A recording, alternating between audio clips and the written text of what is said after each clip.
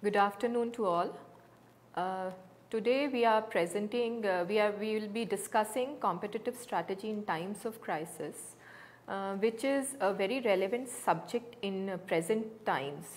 And this particular topic, uh, I have specially taken this topic uh, to discuss the competitive strategy when certain crises like the COVID-19 which is occurring at present, the pandemic which is occurring at present uh, should be considered for by the business organizations. We have uh, discussed a lot about competitive strategy in different sectors in different realms, but how it affects and how the organizations they try to combat a particular kind of crisis which uh, something which is occurring now. In this case what we will do is uh, the modular approach would be like this and this is a particularly uh, particular uh, section of MS 11 strategic management and block 3 where competitive strategies have been discussed. So, what I will do is I will start discussing with the cost approach and then discuss different types of competitive strategies and then we will discuss how the organizations they need to develop a specific kind of strategy in a crisis situation like we are facing uh, presently. So, what we see is that uh, in the beginning of 2020 January, uh, it brought a kind of new challenges for all the organizations. Though it was slow and it was not very prominent, but slowly uh, the global crisis started uh, coming into picture and the pandemic was declared somewhere in March and the uncertain conditions they raised a lot of uh, uh, uncertainty and economical economic downfall for the uh, organizations as a whole. So, this aspect this particular aspect has uh, has been taken into consideration looking at the present situation and present uncertain and critical environment which we and the organizations as a whole they are facing. So, now what is the requirement that there should be a paradigm shift in how the organizations they rethink their competitive strategy in certain kinds of crisis. We have seen that there are organizations where we had natural disasters like fire, like, uh, like floods, like hurricanes but then it was localized. So, the organizations could deal with that particular kind of situation uh, in a different manner. But in this case, what we are facing in the present times, the situation is completely different and where overall globally the organizations are suffering and they are rethinking how to develop the uh, model for sustaining in this uncertain situation. Now we will discuss uh, a part uh, why is there a need for cost because everything is related to cost. We have been talking about the economic uh, crisis, we have been talking about the financial crisis, every, every, now and then we are coming up with such kind of uh, issues. So that is why it is very important that we need to think what is the requirement for cost. First thing is it is very important for a business strategy. It helps in gaining and sustaining the competitive advantage. And most of the strategic decisions like fixation of competitive prices, provision of after sales services, quality of products etc. This depends upon the relative cost level of a business firm or any organization as a whole. Now why I am discussing this particular aspect where you will get to know that what actually happened or what was the concept of competitive strategy and how it can be reformulated looking into the crisis situation. Now we come to the profitability aspect. Cost is always related to profitability. So we need to know how to attain the superior profitability. Now again the organizations they are facing this very issue because they may be demand but there is no supply because the markets are closed and there are critical situations. So, how to attain super profitability and this is very very important aspect of a competitive strategy. So, there can be two ways. First is locating in an industry where an attractive structure leads to subdued competitors. Now this is a general concept I am discussing. How this concept can be modified in the crisis situation that would be discussed later. So this is just a preface of competitive strategy. So locating in an industry where an attractive structure leads to subdued competition and the second way is by establishing a competitive advantage over the rivals. Now this is a basic concept for the organizations to follow to attain profitability in a particular industry. How can it be done? Now this is very important. When the firm's resources and capabilities are deployed in such a way so that they match the key success factors or the critical success factors within the industry environment. That is how a competitive advantage can be managed. But how? Now let us take now this is uh, probably the slides are uh, not so visible, but uh, I'll, I'll, just uh, uh, explain it. Now there are internal sources of competitive advantage and external sources of competitive advantage. Now this is a kind of a value chain where you have resources and capabilities which lead to competitive advantage which lead to the key success factors. Now this is the basic concept of competitive advantage and how different points can be achieved in a competitive advantage. Now when we discuss cost in different market conditions, we have two market conditions. One is the seller's market and when one is the buyer's market. At present both the markets are facing problem. The seller's market exists, buyer's market exists but both cannot reach to each other in different in a critical situation like COVID-19. So when we talk about the seller's market, here the price of a product is determined by internal cost plus desired profit margin and when we talk about the buyer's market, here the profit margin is related to the permissible price which has to be deducted with the internal cost. So this is how the cost in different market conditions prevails. Now when we see the experience curve, this is a very important aspect of a cost and this is a very important aspect related to the competitive strategy. Now if you see on the x axis you have the cumulative output of the organization and if you see on the y axis you have a cost per unit output and the curve is dependent on the number of years that is the learning curve. So when we say that as the organizations grow they develop a kind of an experience over the years and their output increases, the cost per unit decreases and the output increases over a certain period of time. So, this is known as experience curve. So, this is just a broad idea why cost is required in a competitive advantage. Now, when we talk about the experience or the learning curve, it is a repetition kind of a thing which is an excellent teacher in itself. The main factor involved here is learning. As more and more of a product is manufactured, individual workers become more skilled and improvements are made in the organization. They learn the evolution process of learning goes with the experience.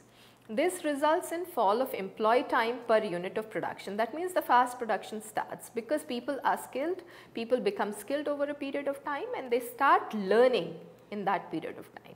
Now this particular experience curve was designed by Boston Consulting Group in 1970s and this has been one of the major aspects of developing a competitive advantage. Now basically it states that whenever accumulated volume doubles, unit costs fall by a constant amount, usually between 20 to 30 percent. For example, production of a particular item such as aircraft components increase the quantum of time of direct labor, labor component to make each of these successive items decline. So, this is what is an experience or a learning curve. Now what are the causes of experience curve effect and what are or what are the cost drivers?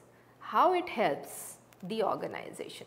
It helps in the improved productivity of labor, it has it increases the specialization, it develops an innovation method in production uh, form, it value engineering and fine tuning takes place, balancing the product line, the methods and system rationalization also takes place. How experience curve is related to competitive strategy. The strategies can be selling the product at most competitive prices, maximizing profits by selling at the highest price the market can afford, selling at a higher price initially but crashing the prices later to keep the competition out. Now this is very important. Now these things which these things only we are going to relate in the later sections. Now competitive uh, strategy. Now we come to the concept of competitive strategy. How to achieve a sustainable competitive advantage and why a competitive strategy is required by an organization. We need to formulate a business strategy or a competitive strategy which involves identification of critical success factors in a particular market and thereby managing the business so as to meet the competition in the industry. Now let us take an example of uh, XYZ or XYZ airlines. What are the CSFs to it? Now this is this example is so relevant in today's time. It is low cost, no frills fare leading to high load factors. These are the critical sector uh, critical success factors of, uh, of an airlines which has succeeded in the airline industry by developing a competitive advantage. It is low cost, it, it provides a friendly, courteous, cheerful uh, atmosphere to the customers. It has high standards of teamwork without rigid job demarcations. It has remarkably quick turnaround times giving increased aircraft utilization. It has an egalitarian culture it has careful screening of recruits at all levels from baggage handling to the air crew. Now these are few of the components which an organization tries to improve upon to develop a competitive advantage in a particular sector. So this is this was just an example. Now one can achieve a sustainable competitive advantage by leveraging the resources developing capabilities, competing on cost, differentiating and occupying a niche or a focus factor. Now if you just remember, just, just remember this slide because these are the five important factors which will be covered in the crisis part also and they are the main part for developing competitive advantage or developing a kind of competitive strategy in crisis situation. First is how to leverage the resources, how to develop the capabilities, the existing capabilities, how to compete on cost, how to differentiate and how to focus. This is very important. Now when we come to the uh, uh, for the competitive strategy, uh, how it occurs.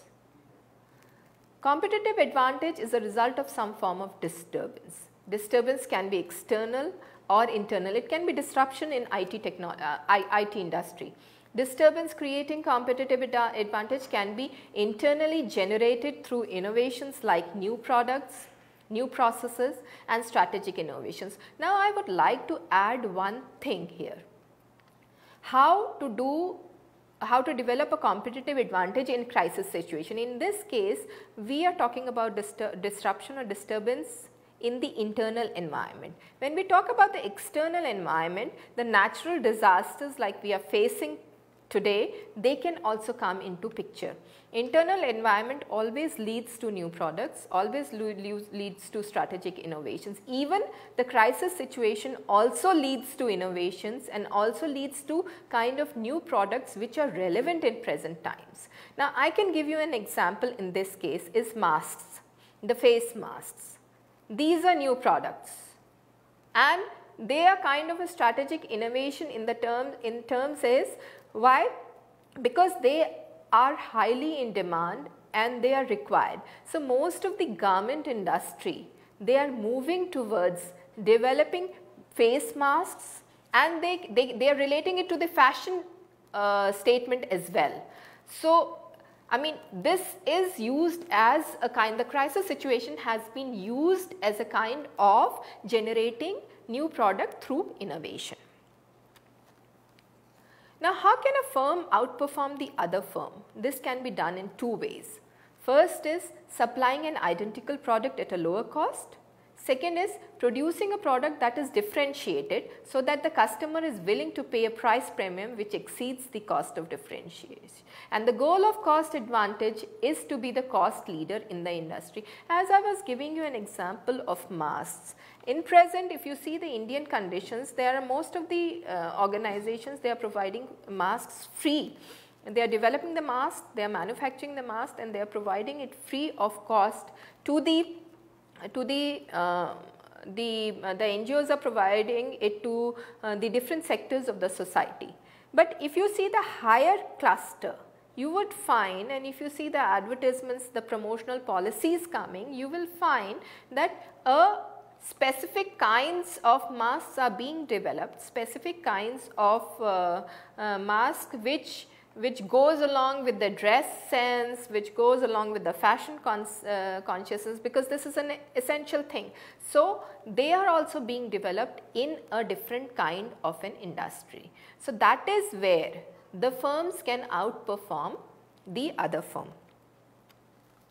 Now, once a firm establishes a position of a cost leadership, then it can use its cost advantage to undercut the rivals on price. The what are the prerequisites of cost leadership? First is aggressive construction of efficient scale facilities, vigorous pursuit of cost reduction from experience, tight cost and overhead controls, avoidance of marginal customer accounts and cost minimization. Now these things they are you being used in the present situation in organizations as of now you would find you you'll come across many articles where the organizations they are trying to develop a kind of cost leaders leadership use, using these factors. Now ways to achieve differentiation advantage. Mass market branding, uh, quality, uh, exclusiveness, focus strategy occupying a small niche in market, uh, and based on these issues, Porter then formulated three basic competitive strategies and these strategies are the cost leadership strategy, differentiation strategy and focus strategy. Now, if you see the matrix, there are different sources of competitive advantage. One is cost, one is differentiation.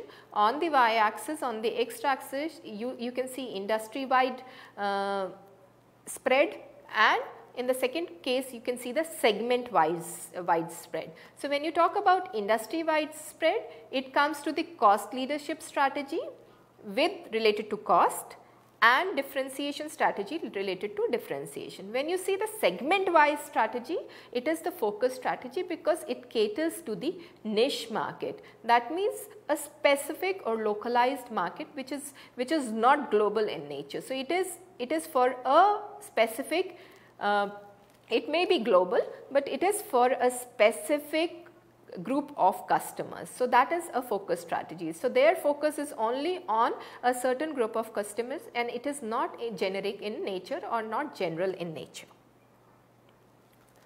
When we see the competitive advantage, if you see on the y axis we have lower cost and differentiation, on the x axis we have broad target and narrow target. The competitive sco scope is based on cost leadership, differentiation, cost focus and focus differentiation. If you see this matrix, you will see that all the four kind of competitive strategies, generic strategies which lead to the competitive advantage are important in present context. Now this is the basic idea of competitive strategies which we are coming across and this is the general competitive over the years the researchers, the experts they have developed these kind of uh, and the organizations have followed this particularly and they have developed this kind of competitive advantage. Now let us see what is differentiation. We will just discuss this in, uh, in, in uh, short and then we move on to the uh, business ecosystem which is a very important aspect in discussing the competitive strategy in crisis in today's times. Now producing goods and services which are considered unique in its industry uh, that is differentiation directed to customers who are price insensitive leads to differential advantage. Extent of differentiation depends on the overall strategy of the firm. Virtually any product can be differentiated. Success depends on the firm's commitment towards customers and the un and understanding the customer needs. Now, if I say, uh, if I take an example of differentiation in the present context, we can see uh, in the present situation we are visualizing that dealing with the customers has changed in lot many aspects. Now the contact, the direct contact has reduced to a large extent and the products are being differentiated on that basis. So dealing with the customer needs and commit, uh, commitment towards customers has also changed in different aspects.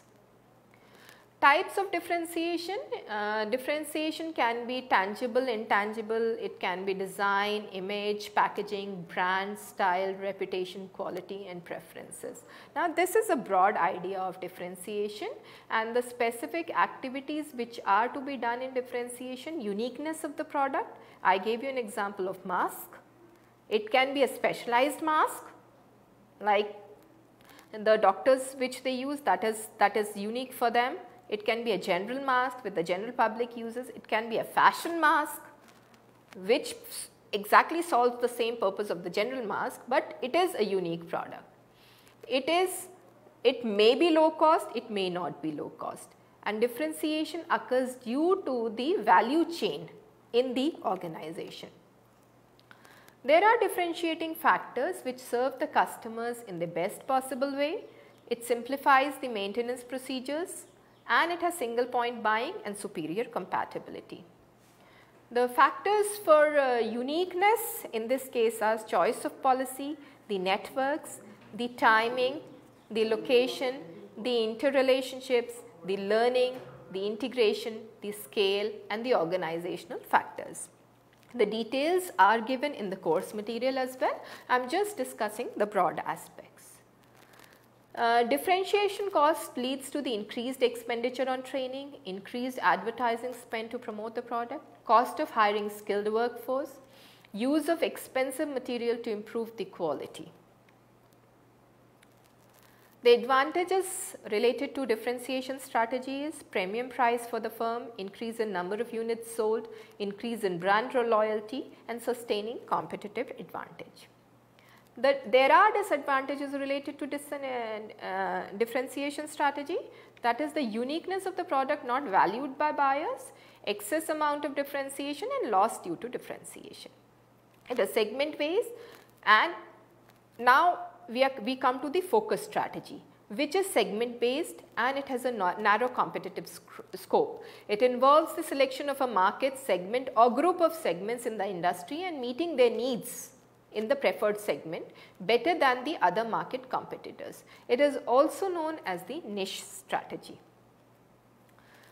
Cost focus involves niche low cost strategy and differentiation focus involves the strategy related to differentiation and for a particular segment of or group of segment.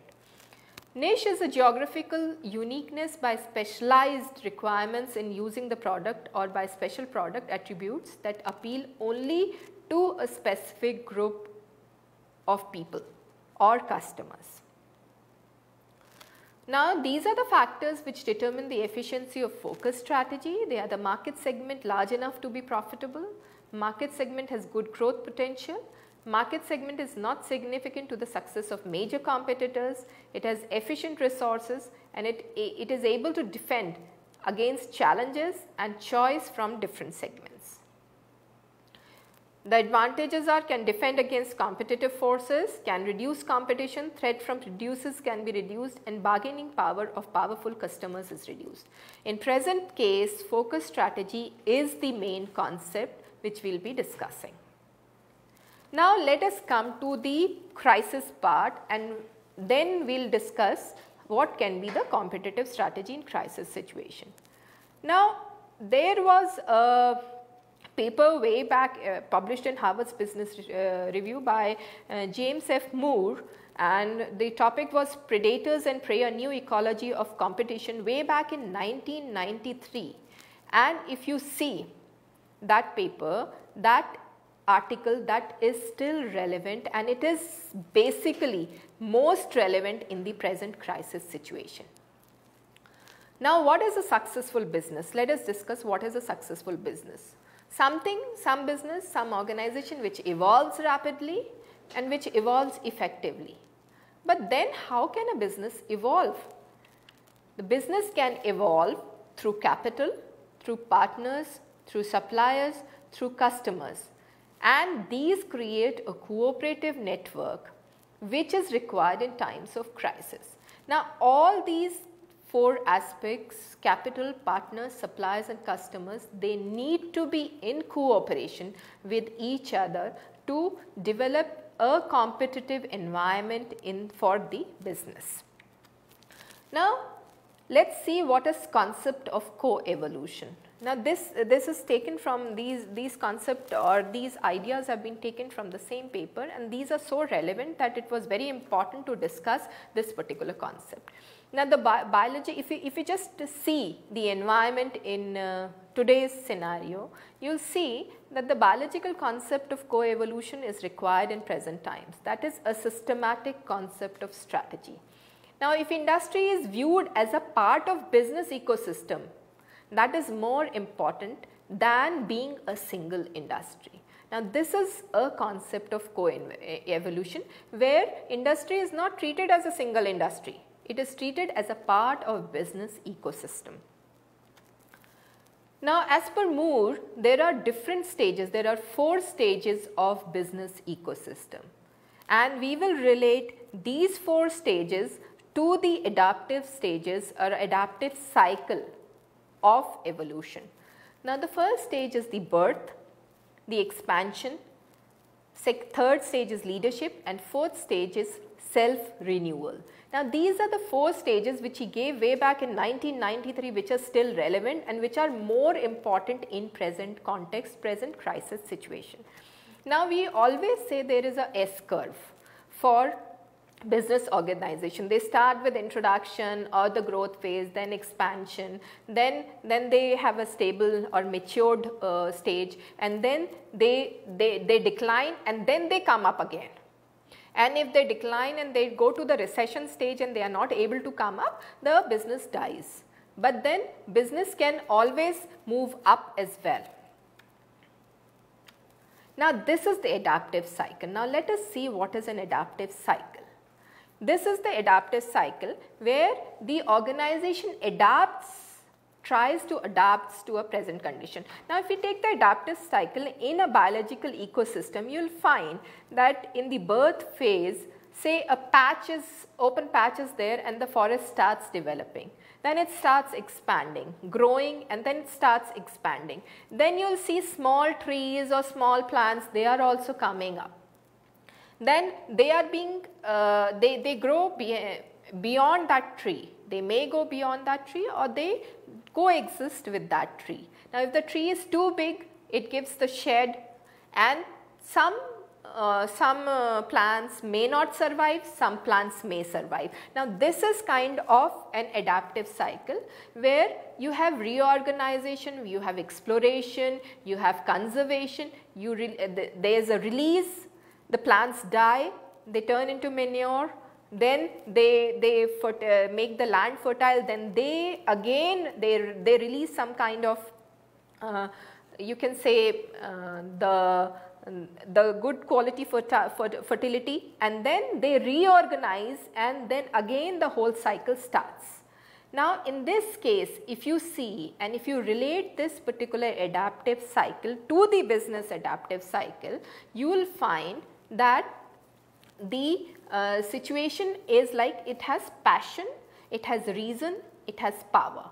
Now this was developed way back in 2012 but this adaptive cycle in business is presently very important to develop a competitive strategy. Now the first part is innovators, managers, second part is managers and leaders and third part is administrators. Now if we, we go back to the Moore stages, the stages given by Moore, we have birth, we have expansion, we have leadership, we have self-renewal.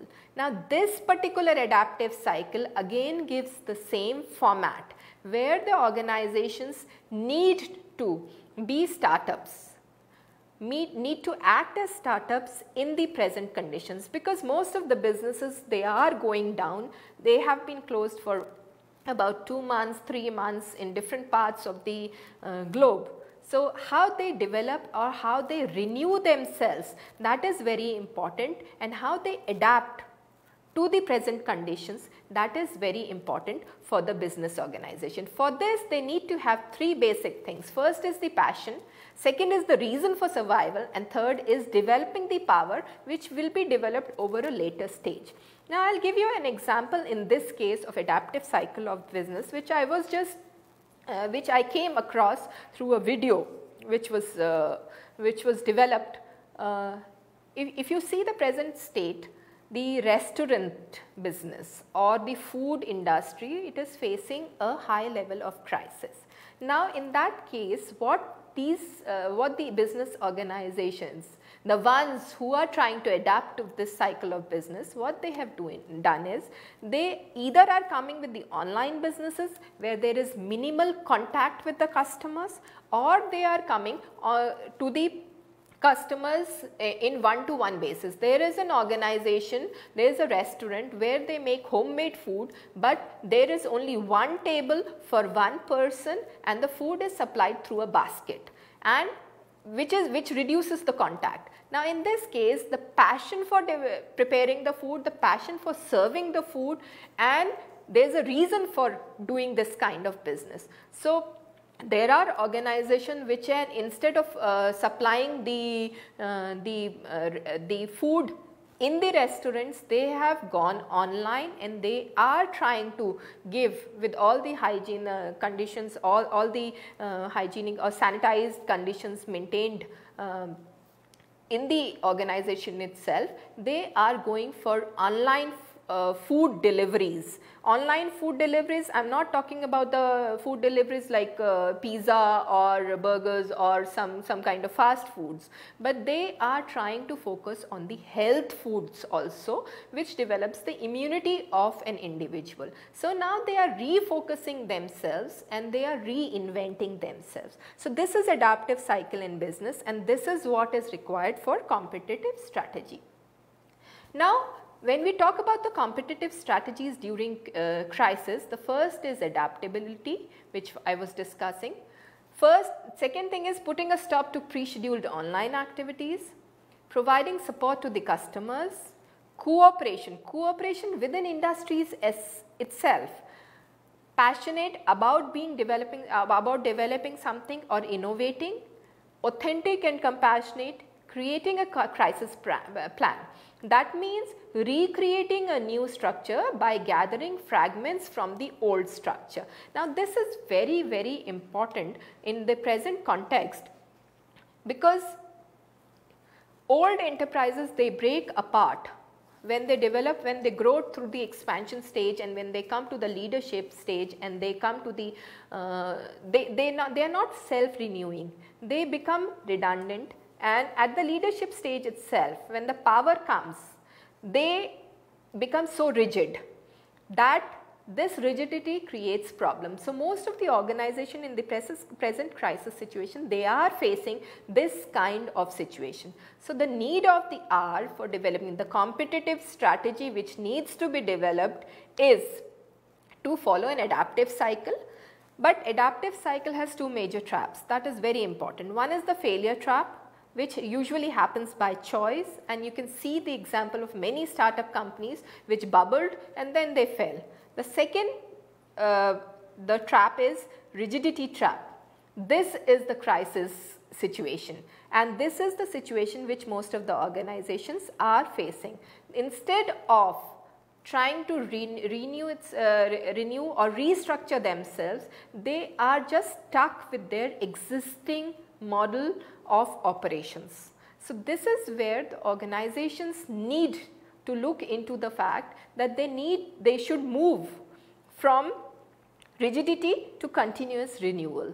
In this crisis situation, the organizations they need to restructure themselves, they need to be more flexible, they need to be more compassionate instead of looking more for profitability situations they need to develop or they need to sustain the present uh, businesses they are having.